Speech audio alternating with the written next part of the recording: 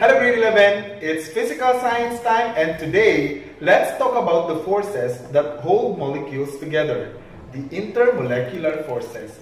At the end of this video, you should be able to describe the general types of intermolecular forces.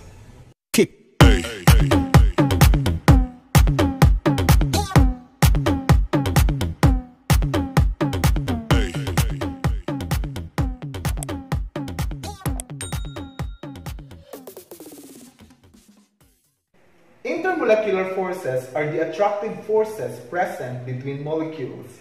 A single drop of water is made up of thousands or even millions of water molecules. The question is, what hold these molecules together?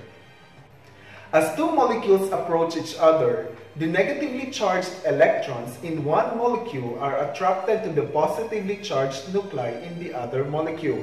At the same time, the electrons in the other molecule repel these electrons. This complex combination of attraction and repulsion can result in the temporary distortion of the electron cloud around one molecule so that a weak overall attraction exists between the two molecules. This weak attraction is called the dispersion force. Intermolecular forces is called the van der Waals force. There are different types of intermolecular forces of attraction. The London dispersion forces, the dipole-dipole forces, and the hydrogen bonding. Let's start with the London dispersion forces named after their discoverer, Fritz London. London dispersion force is the only force present in non-polar molecules. It is very weak and acts in very small distances. It is formed due to the attraction between the positively charged nucleus of an atom with the negatively charged electron cloud of a nearby atom. This interaction creates an induced dipole and there is no bond or no sharing of electrons between the two molecules. For example, in a nonpolar molecule such as oxygen gas, there are no positive or negative ends. However, the electrons of this molecule are constantly moving. There are times when electrons move to one end making such end partially negative while the other ends becomes partially positive. Hence, the molecule can have an instantaneous dipole. The temporary dipole of a molecule induces instantaneous dipoles on the neighboring molecules. In assessing the relative strengths of London dispersion forces between two different substances, Compare their molecular weight and size. Larger and more massive molecules are more polarizable, meaning they have a greater tendency to have a distorted electron clouds and have stronger intermolecular forces of attraction. Next is the dipole-dipole forces. This occurs between polar molecules.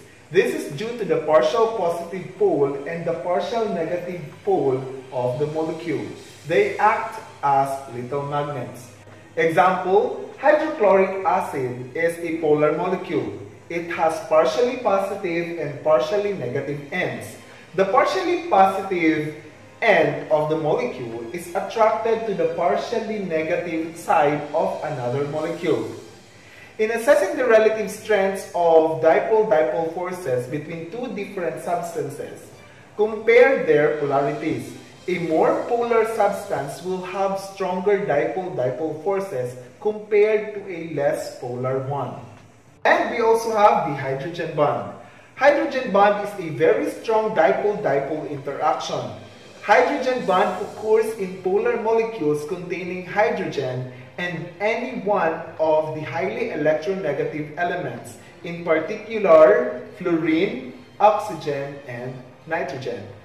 Hydrogen tends to be strongly positive due to the strong tendencies of fluorine, oxygen, and nitrogen to attract the electron towards it. The highly electronegative elements make hydrogen strongly positive. Example, consider the water molecule H2O. The hydrogen of one molecule is attracted to the oxygen atom of another molecule. Hydrogen bonding is responsible for the expansion of water when it freezes. This type of van der Waals forces represents one of the strongest types. And that's all for today. In our next video, we will discuss the effects of intermolecular forces on the properties of substances. Thank you all for watching.